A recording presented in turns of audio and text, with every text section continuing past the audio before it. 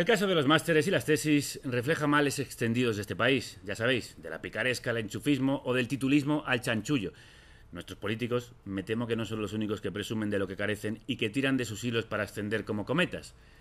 Hay también un país que cumple y que se deja sus ahorros y la piel para estar más preparado, pero enfrente tiene otro en el que importa más lo que pareces que lo que sabes, el título que el conocimiento, más tus contactos que tus méritos. Bueno, tenemos hasta nombre para esta enfermedad nacional, titulitis. El currículum es el nuevo título nobiliario de los plebeyos, el escudo de armas. Si no lo tienes, pues te lo dibujas, como Rivera, que se lo inventa, o como Casado, que se lo compra. No es el resultado del conocimiento adquirido, es la coartada para adquirir privilegios. De lo que nos habla esta fea historia es de políticos que han hecho de la carrera política su única carrera, de profesores que participan de un sistema corrupto de favores, de universidades que miran para otro lado mientras el lazarillo les roba las uvas y de un país que se hace el ciego y sigue tolerando a los mismos pícaros.